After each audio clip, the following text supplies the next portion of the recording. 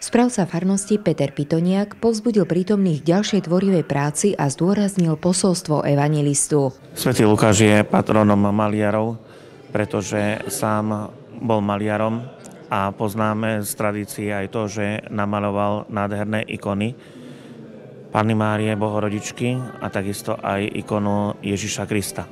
Maliari sú predlženou Božou rukou, pretože do svojej ruky zoberú štetec a namalujú nádherný obraz s výjavou, ktoré máme zaznačené v evanieliách. Mnohokrát oni svoj, svojou rukou a svojim štecom dokážu znázorniť aj to, čo my svojimi slovami nedokážeme vyjadriť.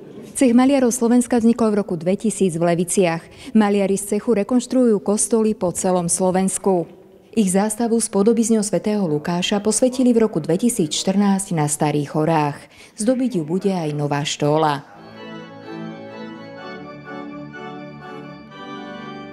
Na tej štóle je vyznačené, napísané po latinsky, že e, remeslo má zlaté dno.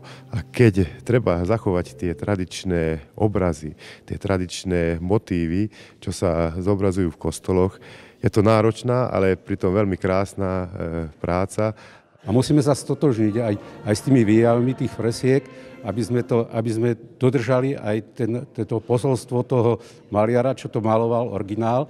A potom aj my, aby sme dali, dali zase do toho to naše, to svoje.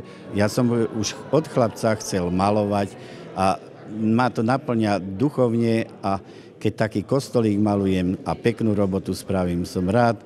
Za tých 47 rokov som vymaloval 7 kostolov keď som jeden kostol maloval, tak som si povedal, že keď ho domalujem, tak do konca roku budem pravidelne chodiť na spoveď a sveté príjmanie.